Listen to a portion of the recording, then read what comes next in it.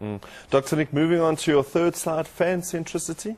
Yeah, I think that was a great success. It was a great experience, and the fans really made this tournament a fantastic experience. Mm. And especially the uh, reporters from England, when they compared it to the English Premier League, they couldn't believe the festive moods, they couldn't believe the uh, sounds and noise, the dancing, mm. the singing, especially the Vuvuzela, the Vuvuzelas, mm. um, and especially in Bloemfontein when uh, Bafana Bafana played Spain, there was an unbelievable mood and atmosphere and uh, rhythm yeah. going on.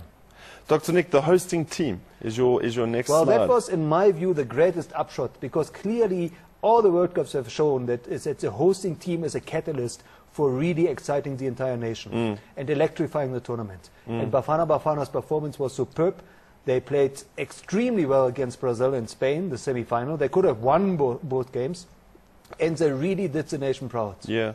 Nation building, how do we, how do we fare in that Well, nation building, according to the chairman of the LOC, Dr. Irvin Khoza, this event truly united the nation because if you looked at the attendance in the stadia, you had all shades of color. You had black, white, Indian, uh, all different people standing together, celebrating together. And it certainly, I think, 2010 for nation building will equal, if not surpass, 1995, the Rugby World Cup. Yeah.